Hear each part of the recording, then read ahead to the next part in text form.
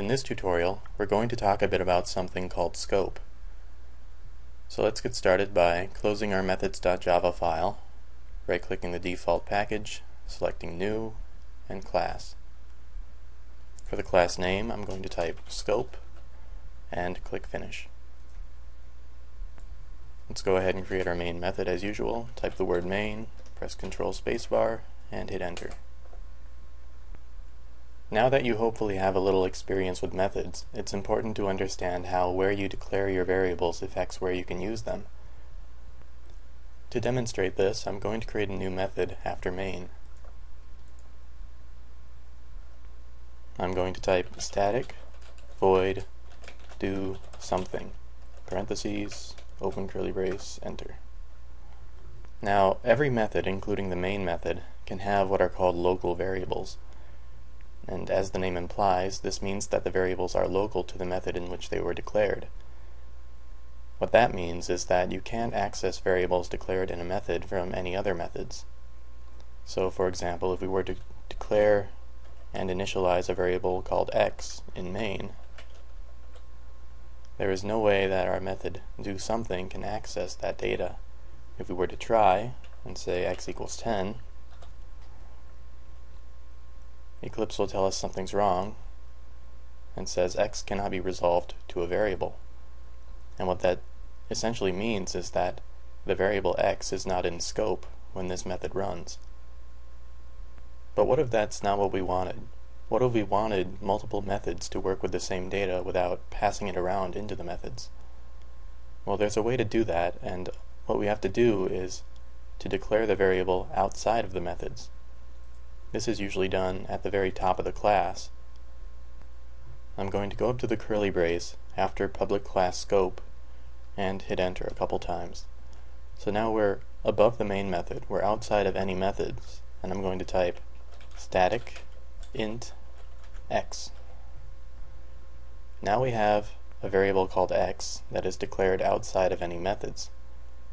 And what that allows us to do is to use it inside of any methods. So if we take the int x off of this x, now when main runs, x will be assigned the value 5. And now when do something runs, x will be assigned the value 10.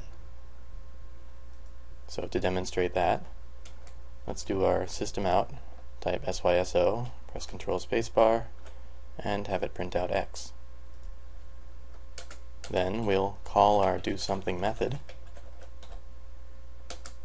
and once again we'll print out x. Just go ahead and copy paste that line and let's run it. And as we'll see, 5 is printed out and then 10 is printed out. Let's put a comment on our variable declaration to remind us of how that works. So I'm going to say because x is declared outside of any method, it is in scope to all methods. In other words, any method can access x. I'm going to go down after our do something method and create a new method called static void do something locally parentheses opening curly brace enter now I'm going to declare another variable, let's say int y equals 100. I'm going to put a comment on this one as well.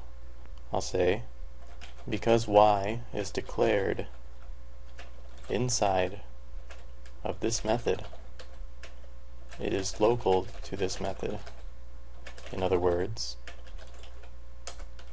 no other method has access to y. Now inside of this method we can do anything we want with y. But once this method finishes executing, y essentially ceases to exist. In other words, not only can y only be accessed inside of our do something locally method after it is declared, but it doesn't even exist after that method is finished executing. Now eventually in these tutorials we'll get to a point where we talk about something called stack frames, and look at how memory is allocated when you call a method, and you'll understand this much more. But for now, just understand that There are variables that are declared outside of methods that can be used throughout the entire class, and there are variables that you can declare inside of methods that are said to be local to that method.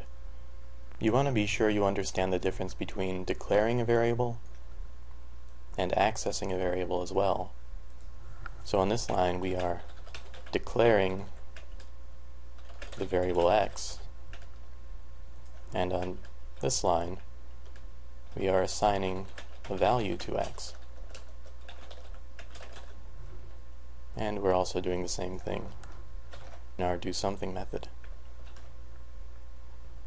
And in our do something locally method, we are declaring and initializing the variable y. So all that matters when we talk about scope is where the variable is declared. Here x is declared outside of any method, and here y is declared inside of the do something locally method. I think that's about everything I want to say about scope for now, but one last thing is when you see a variable declared in this way, where it says static type variable, and it is outside of any method, those are referred to as class variables, whereas variables declared inside of a method are, once again, local variables. Thanks for watching.